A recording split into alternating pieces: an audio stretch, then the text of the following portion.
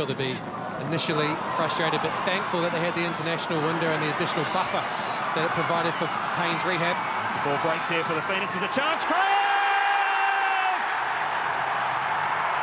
Inside the first two minutes, Bogdan Kraev extends his scoring run against the Brisbane Roar.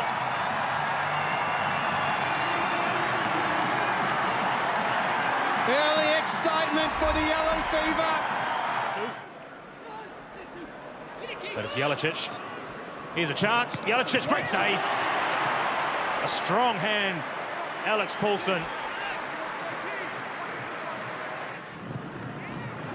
It's a chance for a breakout. I think ball has caught Aldred there. Now, the foot is definitely raised, and the still picture, I think, emphasises the contact here. Remains a yellow card. From set pieces, but quite happy to join the attack as the Wellington Phoenix concede territory. It was a deft touch, wasn't it, from Kraev, and a teasing ball for Barbarouses.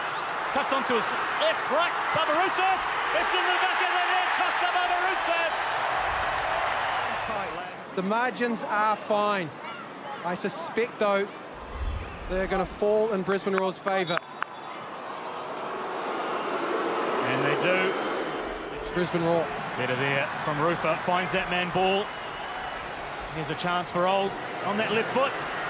Doesn't pull the trigger, Old. Now he does. And a hand over the top of the crossbar. Just stuck a mid up, didn't he? Well, it's down the right-hand side. This time that the play developed. It's a demonstration of the fluidity and what Lofthouse will bring. Ball given away in a dangerous spot there. And now a free kick. Rufer incensed with that. Having to be clawed away. Yeah, well, he- sure what's happened there. This Taking is- his time over this. Yeah, this is taking a very long time. You've had enough looks at this, guys. Make the decision, please.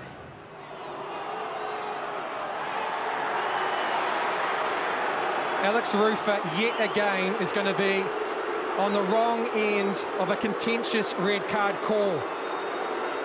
So Henry Hore makes way, who was at the centre of the Rufer challenge. And Paulsen palms it over. Well, it was at a comfortable height. Helped on by Salas, and he skips clear. Well, it's a 2v1 here for the Wellington Phoenix. Salas bearing down on goal. Just gets a touch on it, the goalkeeper. Well, that could have been a sucker punch that Wellington were looking for, Jacob Spoonley. Well, they're not being adventurous.